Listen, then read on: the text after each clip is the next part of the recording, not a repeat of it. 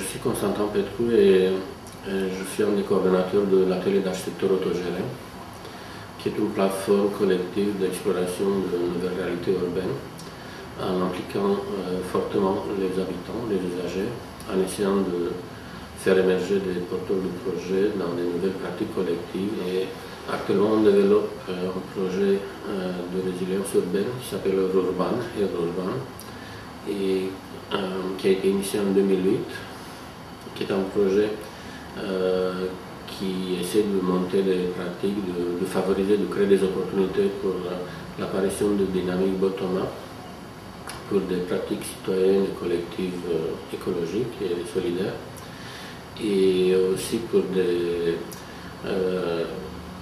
la création et le renforcement de l'économie locale dans, dans des stratégie d'économie sociale et solidaire dans le développement du recyclage, de l'habitat coopératif écologique. Et le but final, en fait, c'est de proposer et créer des opportunités pour que les gens puissent vivre et développer de nouveaux modes d'habiter qui soient plus résilients. Parce que le problème aujourd'hui, c'est qu'on est de plus en plus de personnes qui vivent en milieu urbain, avec un mode de consommation qui est très gaspilleur. Donc on consomme beaucoup d'énergie, beaucoup d'eau, beaucoup de ressources et beaucoup trop qu'il en a en fait. Donc vous savez bien qu'on consomme et on, pollue comme si on avait deux planètes et demie, et ça c'est la moyenne mondiale. En France, on consomme et on pollue cinq planètes, aux États-Unis 9. Et le problème c'est qu'il y a de plus en plus de populations des pays moins consommatrices, mais qui essaient de vivre comme nous. Et donc ce mode de vivre bon, des pays occidentaux et développés, il n'est pas durable, n'est pas résilient. Et donc on essaie de proposer des unités prototypes pour créer de nouvelles activités urbaines et pour que les gens puissent développer de nouveaux modes d'habiter, à la fois d'habiter de manière mutualisée, de créer, de produire eux-mêmes de l'agriculture urbaine, d'essayer de travailler de manière plus solidaire et sociale, etc. Les garçons, ça pique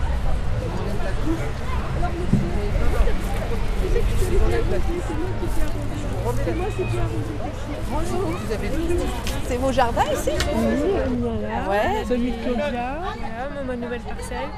Et ça fait combien de jardins ici dans tout Alors, là, il y en a beaucoup. 2, 3, 4, 5, 6, 7.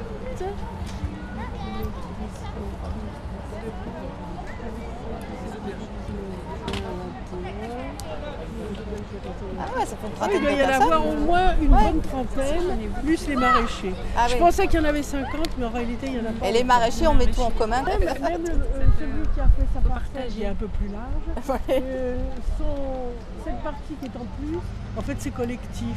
Ouais, d'accord. Il a mis des tomates et il a mis des pommes de terre, mais ça sera aussi pour ceux qui en veulent. Ouais, ça, c'est les jardins collectifs.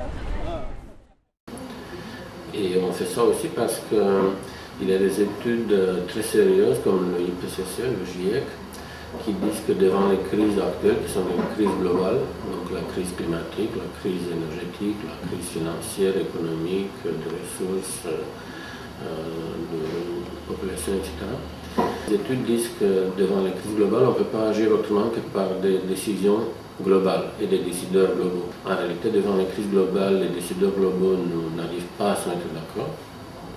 Et à échelle, d'après ces études et analyses, à échelle régionale, nationale, on ne peut rien faire parce qu'en fait, les crises sont globales, on ne peut pas agir contre le changement climatique à une échelle locale. Et donc on ne peut rien faire, ni, local, ni à échelle locale, ni à échelle globale. Et suite à nos projets antérieurs, qui sont des projets à travers lesquels les usagers et les habitants ils ont pu s'approprier ces projets et les développer, les continuer de manière autogérée. C'est pour ça qu'on s'appelle l'atelier d'architecture autogérée.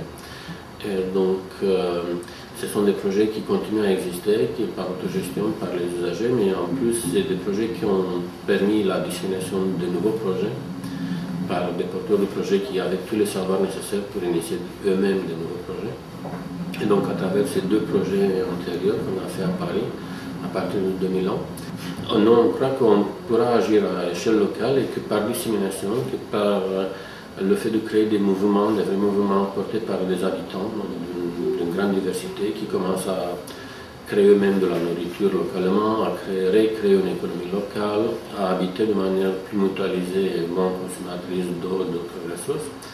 On dit que si on arrive à mettre ça en place, on crée des possibilités pour de nouveaux modes de vie et puis euh, portés par les gens eux-mêmes, de manière bottom-up. Et euh, toutes ces dynamiques qui après pourraient se développer euh, par d'autres porteurs de projets, dans d'autres endroits.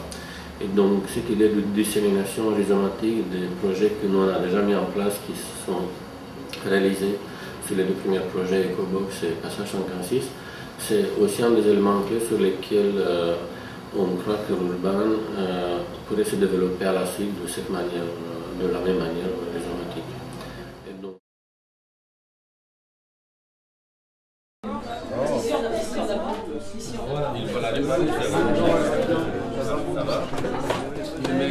De Rotterdam. Ouais, impeccable pour réparer. Euh, pour réparer. Repère café, ça veut dire que les gens viennent. Les gens euh, ils viennent, il, euh, il y a certains qui sont plus bricoleurs, d'autres qui avec des choses, ils prennent contact, ils apprennent à réparer. Voilà. Ça a été inventé en Hollande apparemment, il y a 2-3 ans. Et pour nous, c'est une manière de se créer du réseau local. Eux, euh, tous les gens qui viennent ici, ils bricolent. C'est la première fois qu'on l'organise et puis ça marche bien. Donc, pour l'instant, nous, on agit sur trois sites à Colomb. Donc, il y a un site d'agriculture urbaine, l'agrocité. Il y a un site euh, d'économie sociale solidaire et recyclage de déchets locaux, recyclable.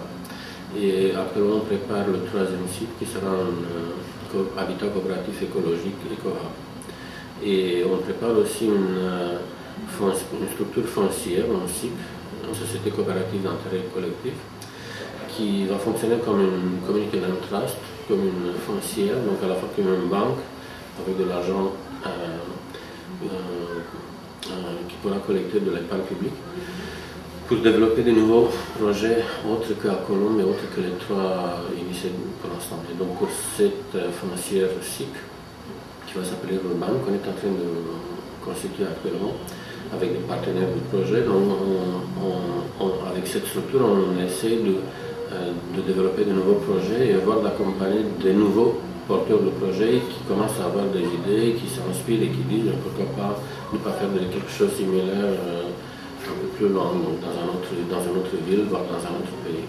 Et Urban, à propos de ça, il est développé actuellement aussi par un partenaire un peu similaire comme équipe comme euh, AA, euh, un partenaire de Londres qui s'appelle Public Works. Et lui, il développe Urban euh, à Londres avec une unité de recyclage mobile.